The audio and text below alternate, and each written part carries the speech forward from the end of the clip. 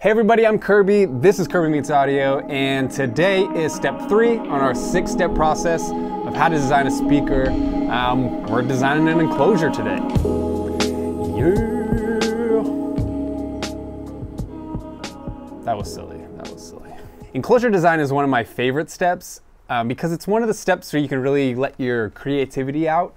Um, within the guidelines we're going to be going over today, uh, there's a million ways you can make your enclosure unique. I made a worksheet to go along with this video. You can find it over at kmakits.com. Click right up there to check it out.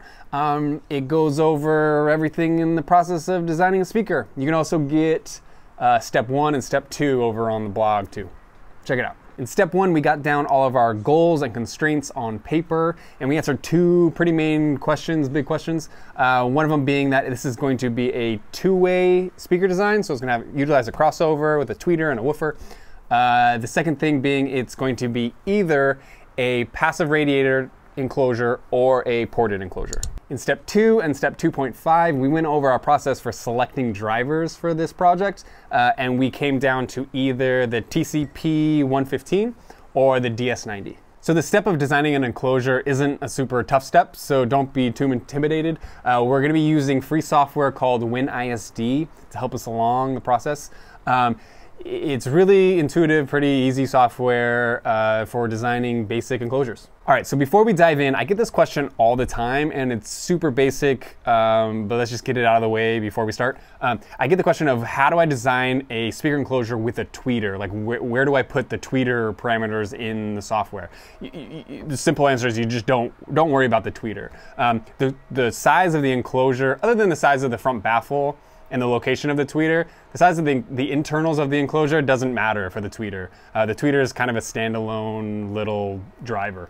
Um, basically, the only uh, thing the enclosure volume, the enclosure size, the internal volume has uh, an effect on are the woofers or a subwoofer if you're using like a three-way or, or anything like that. So you're basically just building the enclosure for the woofers. Just think of it that way, like a sub. All right, let's jump in. Okay, so WinISD. WinISD looks like this. Um, let's go over lay of land a little bit. We got projects over on this side. You can see I got some projects loaded up. Uh, this is your graph. This is going to show you uh, what your speaker hopefully will sound like. Um, down here we've got a few other things to mess with that we're going to mess with a little later. Um, yeah, let's get started. This is actually my third time starting this. uh, first time my computer malfunctioned. It's a piece of, uh, it's a not a great computer. Um, second time my camera stopped recording randomly for some reason. Hopefully recording audio. Yes, we're recording audio. Uh, so this is the third start. We're, it's gonna it's gonna happen this time. No no worries. Okay, so first time in here, you're gonna come up here to the load or new project, whatever uh, tab. Uh, the software comes preloaded with a bunch of drivers um, and their parameters, uh, but they, it doesn't come with Dayton Audio. And we uh, decided we wanted to use either the Dayton Audio TCP 115 or the DS90. So we had to import our own uh, parameters. I'm not going to show you how to do that right now um, because that's beyond the scope of this video. But uh, 123 Toid or 123 Toid, I don't know what it is. Uh, if you're watching this, which, which one is it? Um, but you should go check out his channel. He has awesome content on speaker building, um, uh, using software, stuff like WinISD. He has a great tutorial on how to import um, parameters into WinISD. And it's important to watch this video because if you, you have to do it in a certain order. And if you don't do it in the right order, the program doesn't like it. I, I don't really know why. I'm sure there's reason, but do that. He also has some other great tutorials on just how to use WinISD. Um, uh, yeah, it's good. Check it out. Link down in the description. Okay, so we're going to start with uh, the TCP 115. So we're going to select that. Data's in there. We're going to go next. Uh, we're going to use two drivers. Uh, that was also in step one, right? When we decided what we wanted. Uh, it's going to be normal placement. We're not doing ISA. And we're going to do a vented enclosure. So you have a, a, few options here. You got closed, some bandpass stuff, passive radiator. Um, but we're going to do vented. because that's what we're testing. Uh, so alignment, uh, Chebyshev is is what you kind of want to stick with, especially if you're starting out. Um, another one you might want to dabble with next is uh, extended bass shelf uh, down to negative 3 dB. That's just going to give you a little more bass. It is going to mess up your mids a little bit, um, so be aware. Start with Chevy, Ch Chevy Chase, Chevy Chep. All right, so we're gonna call this PE. I still don't have a name for this project, um, but this is the, what is that, TC, TCP 115. Vented. All right. And boom, right off the bat, it gives you, well, it gives you the Chebyshev parameters. So now you can see the spectrum graph. So this is your 0 dB line. Uh, this is your negative 3 dB line. Negative 3 dB is kind of the standard for how low, um, how low in dB or amplitude volume, basically, uh, how low you want your speaker frequency to go. So like anything below 3 dB, you're not going to really count. So like this this does play some amplitude down to 30 dB. I mean 30 hertz, um, but it's at what is that like negative 21 dB? You're not going to hear that. So anything below negative 3 dB, that's the standard. You're gonna you, you can hear a little bit below that, but it's standard. Okay. So you can see at negative 3 dB on our graph, our line cuts right through 50 hertz. And back in our step one, we decided that a, few things with the enclosure. One, we wanted at least, or not at least, but a five inch front baffle. Uh, the other thing we wanted was for our speakers to get down around 50 hertz. So this actually works out perfect. But we have to go into this section down here and see if what this spit out is actually possible. So driver, this section talks about uh, all the details of our driver. Box is the details of our box. So you can see here, uh, it wants the box volume to be 0.23 cubic feet, 238 cubic feet. Um, and the tuning frequency of the box is uh, 54 hertz. Uh, and then in vent, uh, it wants us to have one vent at four inches in diameter but it wants us to have a, four, a 45 inch long vent. Um, our speakers aren't going to be, our enclosure is not going to be 45 inches. Um, so unless we want to put a bunch of bends, uh, it, it's not going to work. 45 inches is not going to work. Um, so what we can do is we can change a few things. We could change our tuning frequency, but we don't really want to do that. So the other thing we can change is uh, our vent diameter. So the smaller your vent diameter, the uh, shorter your vent uh, length needs to be to hit a desired hertz range. Um, so uh, let's do, actually let's do one inch. So at one inch, so you can see our box stayed the same tuning frequency and size. At one inch, uh, our port length only needs to be two and a quarter inches. And we're still staying at 50 hertz at negative 3 dB. But something you need to be aware of up here when we change our graph is, uh, and we change it to rear port air velocity. Oh, okay, that just threw me. Um, this graph measures uh, how much, basically, uh, basics, is uh, how much sound we're going to hear in the port. So air is being moved within the enclosure by the driver, which is moving air through the port. So the smaller the port, the more air, the more air sound is going to come from the port. The more sound from the air is going to come. Whatever, you know what I mean. Um, and that's called chuffing. I'm sure you've heard chuffing before. Uh, what reason why this threw me is basically what we want is to keep this under 20. We want to keep the, the top of this peak in this graph. Um, but we shouldn't, that shouldn't happen with a one inch uh, diameter vent. But we need to go to signal. This is at one watt. So if we were going to play our system at only one watt, it'd be fine, right?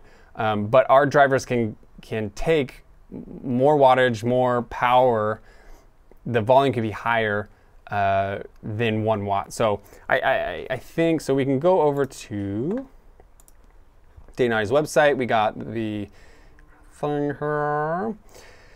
Power handling is 40 watts RMS.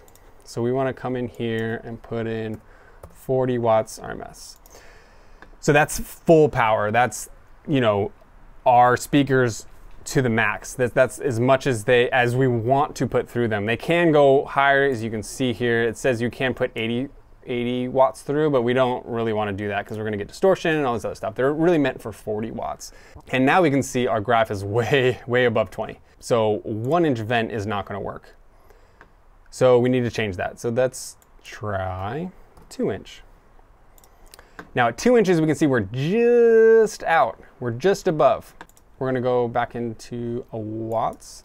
If we say we'll play at 30 watts, 30 watts, we're in, we're in the safe zone, right? Most likely you're not gonna go above 20 watts per speaker uh, with these drivers, um, but you wanna be safe. You wanna go up to the, the total. You, you definitely wanna look at that at air velocity in your port and make sure you're, you're putting in the wattage that you want your speakers to be rated at. So next thing we're gonna look at, we're gonna go back to transfer. So this is our graph. Um, so this is what the TCP 115 looks like. Um, I already put in the DS90, and this is what our DS90 looks like. Let me just make sure, tune for vents, two inch. So this is even at a two inch, at a two inch diameter vent, it's at 16, almost 17 inches. That's that's still not. So we're gonna let's put in 1.5. So that's about nine inches. That's better. We could probably do three quarters, 12 inches. That's still probably too much. I don't even know if they make a vent like that. So that's probably the best we can do. So we want one port at uh, one and a half inch diameter at um, just under nine and a half inches. Um, yeah, 60. All right, so let's do our signal. Yeah, so at 20, I'm gonna get rid of this. Go into air velocity, and you can see this is still, this is a little, oh, uh, no, here we go, there. So this is also a little, little over with a 20, actually with 20 watts, yeah, still a little over, but that's okay. Um, the main point that we're looking at is you can see where our negative 3, and in this one, this is an even more drastic uh, difference between uh, our 0 dB amplitude and the negative 3. So our 0 is, is technically up here around 300, 400. Um, but uh, the negative 3 is down by 80. So we got 80 hertz just under 80 hertz at negative 3 dB, um, which is not what we're looking for, right? we one of our goals uh, back in step one was that we wanted our uh, enclosures to be tuned to around um, 50 hertz. So 80 hertz, it's still pretty low. Like that's it's not a bad speaker, but it's just not really what we're looking for. The the DS90 drivers don't really work in this situation. So we're going to cut those out. Um, the other thing that we looked at was passive radiators. So we can see here, this is, we can use, you know, using the same steps that we did at the beginning, instead of choosing vented, you would choose passive radiator and it would um, spit out these numbers. So we got two passive radiators that basically come out to be the same thing. Uh, the ND140 is a five and a quarter inch driver, and then uh, another one that's six and a half inches this is our vented with the two inch, I think it was like 11 inch, two inch diameter, 11 inch port. Our 3 dB is much lower than um, the passive radiator. So the passive radiator's 3 dB is way back here, around 100 hertz. It's actually worse than the, the DS90. I, yeah, so uh, I'm gonna go with the vented. I know, so there's a few reasons why I'm picking vented for this project. One is simplicity. Two is, according to this software, Vented hits our goals better than uh, Passive Radiator does. And you can see here, if I, this is the second passive radiator I, tr I tried, and it's, they're both basically the same. Um, and the third reason is I don't have a lot of experience with passive radiators. Um, I, have done, I, trying to think, I think a long time ago, I've done a few projects with passive radiators, but it's not something I'm super uh, aware of. Um, so I want to do more, especially for this kit. I, I, I, just, I feel more comfortable going with something that I, I understand a little better. I'm sure there's a way to make a passive radiator work with this kit even better than the vented. Uh, I just don't know what that is. And if you've been following my channel long enough, me doing experiments on here and broadcasting it to all you hasn't worked out very well in the past. um, go back and check out my uh, open baffle speaker design. That was that was fun. Um, anyways, okay. So now that we've narrowed it down I kind of did this work before, um, but we narrowed it down to our vented with the TCP 115s, two of them. Now we can go into the actual design of the enclosures. okay, so WinISD tells us that we want our uh, the internal volume of our enclosures to be 0.238 cubic feet. Um, now I use a website right here. I think this is for 12 volt. I think this is this is yeah this is for subwoofers, but it works. I mean, basically we're making a subwoofer just for we're just adding a tweeter to our subwoofer, so it's kind of the same thing. But it's a really great site. I'll put a link down in the description, by the way. It's a really great site. Uh, it has a bunch of calculators on it. They're not the most accurate, and I wouldn't. I mean, it's fine to get started with this kind of stuff, um, but uh, like uh, like the port um, calculator and stuff like that. Uh, there's better ways to do it, such as WinISD, what we're doing right now. But what's really, what I like a lot, let's get rid of that, is the um, volume calculator. So they have calculators for different enclosure shapes, which is nice. So if you, you know, are building a, a different shape, get that out of it, different shape uh, enclosure, uh, you, can, you can find the internal volume really easy using the software. Um, but we're going to be using the rectangle, rectangle and square. So we just come in here. We know we want the front uh, baffle diameter to be 5 inches. We want the height to be somewhere around 17 inches. And the depth, let's put in 5 inches. And thickness is going to be 0.5 inches, which comes out to uh, 0.148 cubic feet volume that's under what we need. So we need 0.238. So we go in and adjust. Uh, these two are usually what I know. The one that I, uh, that I mess around with is usually depth. Um, so let's go and let's do 10. We'll do 10 inches. That gives us 0.33. What was it again? Yeah, 0.23. So that's over. So let's do 8. So 0.259, that's pretty much perfect. Um, so we're not going to get too detailed right now, but some things to consider are this, the, the internal volume that WinISD gives us, the 0.238 cubic feet, that should be all free space within the enclosure. So the back of our driver, like the magnet of our driver, takes up space within the enclosure.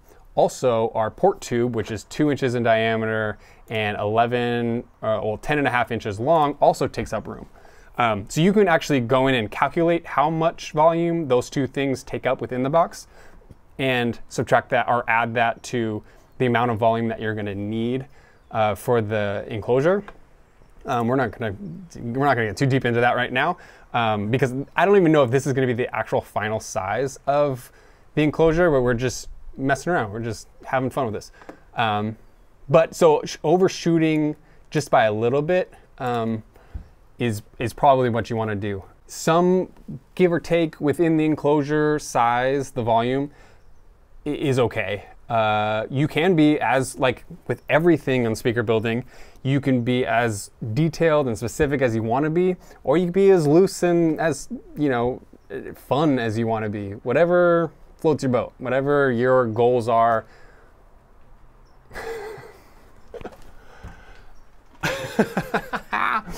My light just went out. Um, let me get a battery. Just a second. Ooh, I just looked into the light. Pretty bright. All right, we're back. All good. Uh, what was I saying? Yeah, uh, yeah. You can be as strict or as loose as you want to be. Um, we're gonna be a little looser today in this video. Uh, so yeah, I hope that um, I hope that helps. I know that was a little uh, maybe a little sporadic, a little spastic, but um, that's kind of my process. That's how I go through it. And like I've said in all the other steps, this is an iterative process. This doesn't just happen, uh, you know, you know, one flowing, you do this step and then you move on to the next step and the next step and you never go back. You, you're always, at least I am, I don't know how anyone else does it, but I'm always going back and forth and, and figuring out what works, what doesn't. So the next thing I would do would be to write down all that information. The internal volume of what my enclosure needs to be, my uh, estimate on the outside or size of what the enclosure is going to be, the five inches, 17 inches, I think it was eight inches, something like that. Um, and then I'd start sketching out what I want the enclosure to look like, uh, where I want the drivers to be, all that stuff. Um, I'm to do that in my Instagram and on the stories. So if you haven't followed me on Instagram, go do that. Link down in the bio. Not the bio, the description. So the next video is to be step four. That's to be using more free software to design our crossover for our two-way system. If you enjoyed this video or any of my videos, please hit that like button. Um, if you're new here, subscribe, hit the bell.